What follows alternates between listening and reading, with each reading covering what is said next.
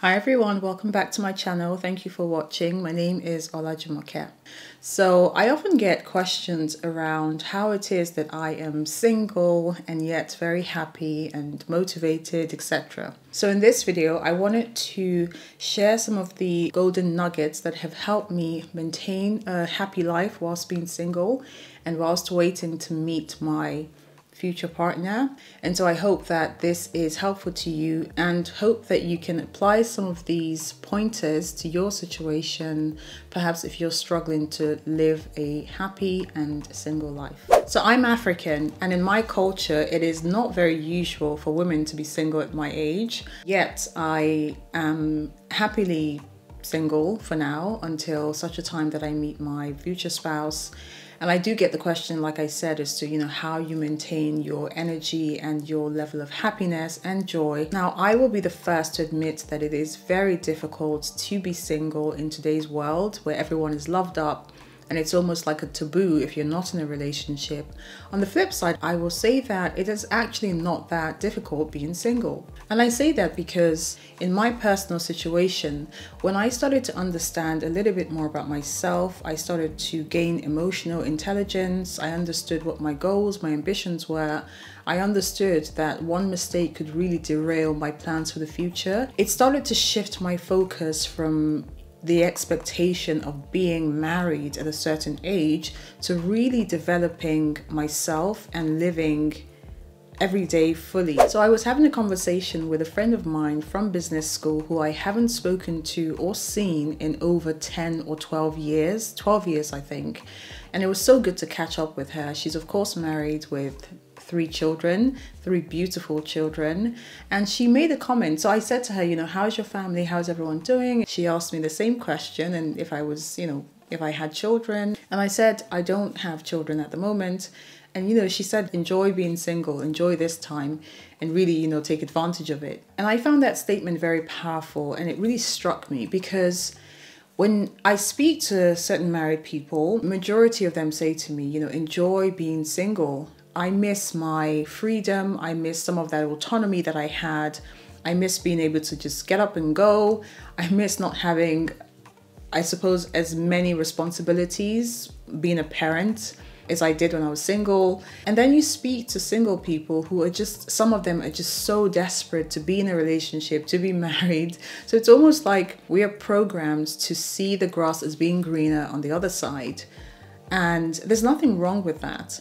But I think that if you keep on chasing the next thing when it's not time to do so, then your focus is completely derailed from what's in front of you now. It's completely derailed from the life that you ought to be living to the fullest in this present time. So it takes you away from the presence and it pushes you, propels you way into the future where you are worried about what's going to happen in the future versus enjoying where you are now. And as a disclaimer, I do hope to be married one day. I do hope to have, you know, one or two children at the appropriate time. I remember my doctor said to me uh, five years ago now, in 2017, he said to me, Olajumoke, I would love to see you in two years where we are talking about baby. and it's five years gone, and you know, I think he might be a bit disappointed with me. I haven't yeah, reached out to him. But anyway, I digress. So the first thing I will say in ensuring that you live a very fulfilled and happy single life is understanding that nobody is responsible for your happiness but yourself. And I think it's quite unfair as well to put the responsibility of your happiness on someone else. So I believe that some people have this notion that, you know, once I get into a relationship, once I'm married, I'll have that happiness. And I don't necessarily think that's always the case.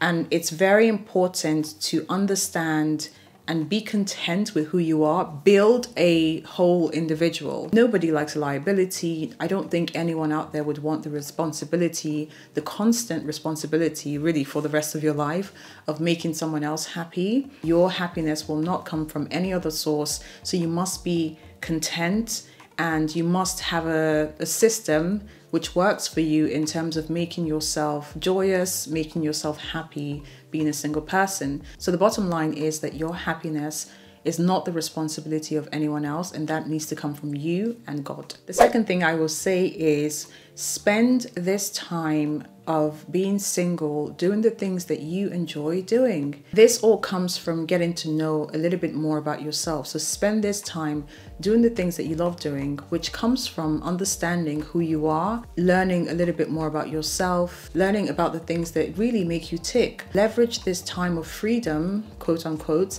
to really enjoy doing things. So travel, join a cycling club, take up an art course, singing, take up writing, uh, go on walks, go on treks. Uh, hike through Europe, US, Middle East, wherever. You know, the point is you should be doing something that really makes you happy and makes you fulfilled. But that also stems from knowing who you are and really having an appreciation for what makes you you. The third point I would highlight is to take this time out to build emotional intelligence. I think for a very long time, the world has sold us this narrative of happily ever after.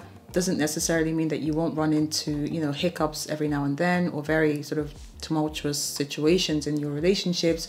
But I think that the way the world is sort of structured now, it underprepares a lot of people for the realities within marriage you know, people expect a perfect partner. If you expect someone to be perfect, if you expect a perfect relationship, I would say that you're definitely not ready for a relationship because nobody is perfect.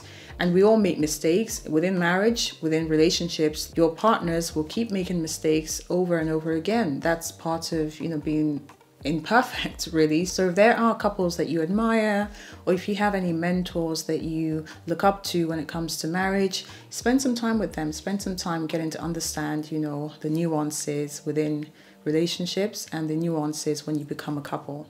So this video was sponsored by Coco and Crumble, an amazing brand for all things home fragrance. Visit www.cocoandcrumble.com for all your home fragrance needs. Whatever your preference, you're guaranteed to find a gorgeous fragrance for your home. The next point which has helped me stay happy whilst single is um, I've completely thrown myself into self development, my professional development, etc. My mom was a very progressive woman, I'd say, for her generation. She was extremely successful in what she did. She was a banker, so just watching my mom, I always wanted to become a banker. And she had five children and she ran a household. She had so many responsibilities. She was also an entrepreneur, which I think is where I get my entrepreneurial spirit. So watching my mother really instilled in me the importance of having a drive, of having a passion and ambition when it comes to your professional career. So, what I would say is, you know, spend this time building yourself, developing your professional skills, going from height to height, and having your own thing. You know, nobody wants to, like I said, have someone who's a liability to them.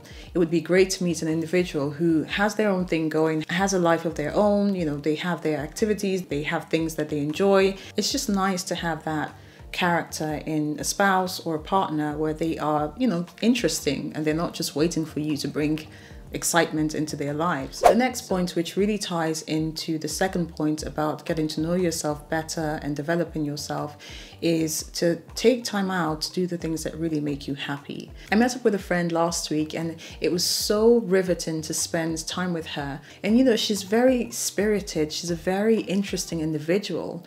And I said to her that I believe that the sad part of my life in the past is that a lot of my identity was tied into my career, what I did for a living. And she said a lot of her identity is tied into doing the things she loves. And I was so envious. And I said to her, I'm envious of you because I wish I could do more of that. I wish I could just relax you know, switch off work and my career for a second and focus on the things that make me happy. But it was so good to speak to her because immediately I started thinking about taking some proper time off everything and taking some time to really think about what makes me happy, the things I, I enjoy doing. I know what I enjoy doing, but I wanted to be more intentional about doing those things. And it really made me consider the last time I really stopped I really switched off from work, from my career, from my businesses to just look up and enjoy the sunshine. It's a beautiful day in London town today. The sun is out, birds are chirping, and I think a lot of moods have been uplifted at least in this um, in this glorious weather that we're having. And it made me think about the last time I just stopped to relax and indulge in doing the things that I really enjoy. And so I decided going forward to be a lot more intentional about incorporating a lot of the things I really enjoy into my day to day living and hopefully just measuring the impact of that on my happiness, my joy, and you know, hopefully even heighten that going forward. The next thing I would say is try to avoid the temptation of comparing yourself to others. What goes on behind closed doors is not always apparent. Again, coming back to the whole social media sphere, what you see is not always reality, and people put their best foot forward. So you won't always see the very cantankerous arguments that people have with their spouses, with their partners. They always put the best of their experiences online. So everything you see, you must take with a pinch of salt, and you must also use your discretion to understand, you know, this may not always be their reality. I bet it isn't always their reality. Couples fight, couples make up, and you know, it's never always smooth sailing. So, of course, it's good to see, you know, very healthy and happy relationships, but I have become very intentional and conscious around not comparing myself to others. There's some lovely young people who are married now who I babysat as children or as infants and it's just amazing because now they're married with their own children and it's wonderful to to see i often tease myself with my sisters when they complain about something and i say well you know i don't have a husband i don't have a child it's just a tease but that really reinforces my understanding and acceptance that this is just a phase in my life. I look forward to the next phase, but whilst I'm here, I really want to be focused on the present. I really want to focus on making the most of my situation. And the final thing I will say is be kind to yourself. When you get married or when you get into a relationship which is meant to be a long-term, you know, commitment if you will, that sort of is meant to close this chapter of your life. So the original plan of marriage was to be together forever. I'm a very traditional woman. I'm a great believer in, you know, marriage for life. And that starts a new chapter in your life. So you really want to enjoy this time, be good to yourself, be kind to yourself, knowing fully well that there's so many other people just like you out there who are living their lives, who are fulfilled. Some people might not be as happy being single, but again, it's just a phase. So make sure that you are really good to yourself, treat yourself, date yourself in the meantime, and just explore and enjoy what life has to offer to you as a single person in 2022. That's it for this video. I do hope it's been entertaining as well as helpful and educational. Know that you are not alone, but there are several ways to approach it, and really it's a choice. You can choose to be happy or you can choose to be sad about it. I would opt for happiness. And again, within happiness, happiness and being joyful. There's so many things you can do to achieve that. Don't forget to subscribe to my channel if you aren't already subscribed. Click the notification bell so you don't miss any new videos from me. Until next time, look after yourselves. Bye for now.